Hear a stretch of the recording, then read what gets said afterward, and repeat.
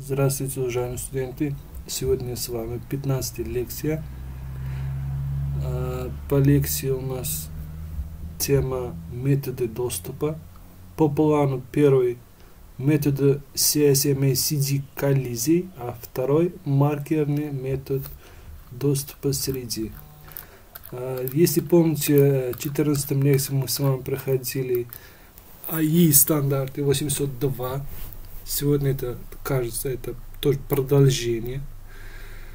Э, методы SCMA-CD коллизия – это метод управления обменом.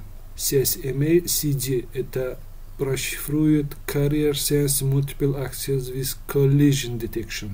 Это множественный доступ к контролям, несущий обнаружением коллизии. Коллизия – это одно и то же, типа э, потери данных короткое название коллизии, относится к децентрализованным случайным методам. Он используется как в обычной, обычных сетях типа Ethernet, так и в высокоскоростных сетях Fast или Gigabit Ethernet. Этот метод применяется исключительно в сетях с логической общиной. Все компьютеры такой сети имеет непосредственный доступ к общей шине, поэтому она может быть использована для передачи данных между любыми двумя узлами сети. Одновременно все компьютеры сети имеют возможность немедленно получить данные, которые любой из компьютеров начал передавать на общую шину, которая показана на рисунке. Простота схемы подключена. Подключение – это один из факторов определяющих успех стандарта Ethernet. Это этап доступа к среде, называется. Все данные, передаваемые по сети, посещаются в кадры определенной структуры и снабжаются уникальным адресом станции назначения. Это э, можете смотреть, чтобы это, получить возможность передавать кадр станции, должен убедиться, что разделяемая среда свободна. Это достигается э, прослушиванием основной гармоники сигнала, которая также называется несущая частота. Признаком незанятости среды является отсутствие несущей частоты, которая при манчестерской э, способе кодирования равна 5-10 МГц в зависимости от последовательности единиц и нулей, передаваемых в данный момент. Если среда свободна, то узел имеет право начать среду, сред, передачу кадра. Этот кадр изображен на рисунке. узел L обнаружил, что среда свободна и начал передавать свой кадр. В классической сети Ethernet на коаксиальном кабеле сигналы передатчика узла L распространяются в обе стороны так что все узлы сети их получают. Кадр данных всегда сопровождается преамбулой, называется преамбул, так написано, которая состоит из 7 байт, состоящих из значений 10, 10, 10, 10. И 8 байта равно 10, 10, 10 и 11 бывает. Преамбула нужна для вхождения приемника в побитовый и побайтовый синхронизм с передатчиком.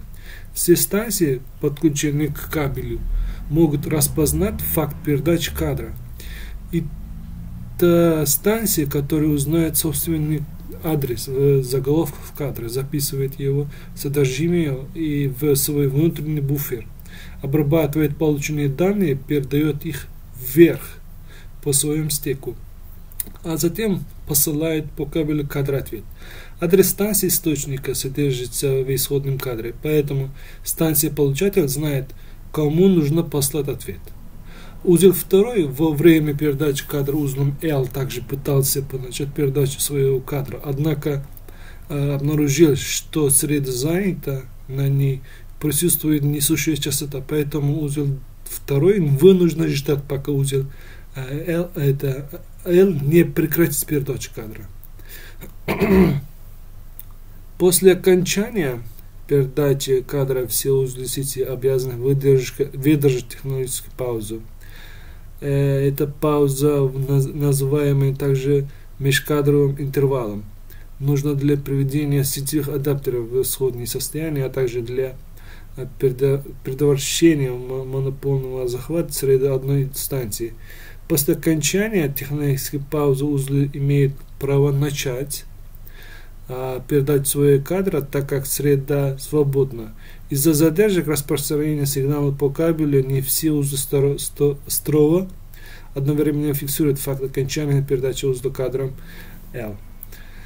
В приведенном примере узел 2 дождался окончания передачи кадром узлом L, сделал паузу в 9-6 микросекунд и начал передать свои кадры.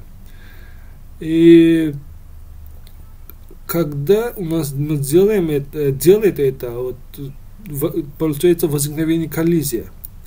При описанном подходе возможна ситуация, когда две станции одновременно пытаются передать кадр данных по общей среде. Это механизм прослушивания среды и пауза между кадрами не гарантирует от возникновения такой ситуации, когда две или более станции одновременно решают, что среда свободна и начинают передавать свои кадры. Говорят, что при этом происходит коллизия, так как содержимое обеих кадров сталкивается на общем кабеле и происходит искажение информации. Методы кодирования, используемые в интернет, не поз позволяет выделить сигнал каждой станции их из общего сигнала. И теперь коллизия – это нормальная ситуация в работе сети Ethernet. В примере изображения на рисунке коллизия породила одновременную передачу данных узлами третий и первый. Для возникновения коллизии не обязательно, чтобы несколько станций начинали передачу абсолютно одновременно.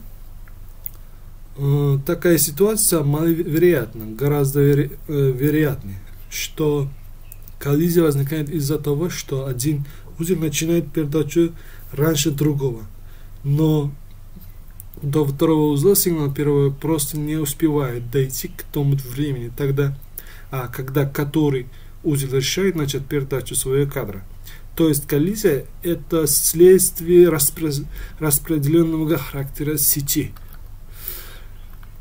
Чтобы, чтобы конкретно обрабатывать коллизию, все станции одновременно наблюдают за возникающими на кабеле сигналами.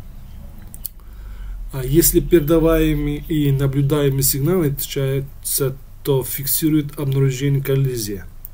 Для увеличения вероятности скорость, скорейшего обнаружения коллизии всеми станциями сети станции, которая обнаружила коллизию, прерывает передачу своего кадра и усиливает ситуацию коллизии посылкой все э, специальные последовательности из 20, 32 э, бит, называемые э, jump последовательностью. А теперь остальные все будем смотреть э, на практике. Э, практику время двойной обороты и распознавания коллизии тоже будем смотреть. Э, пока я хочу еще сказать, маркерный метод доступа в среде. Это в сетях маркерным доступ, доступом, э, методом доступа а, к ним, кроме так, сети Talking Ring, относятся в сети FDD, а также сети близкие стандарты 802.4. Это ArcNet, сети э, производственного назначения MAP. А, право на доступ к среде э, передается циклически от станции к станции по логическому кольцу. А,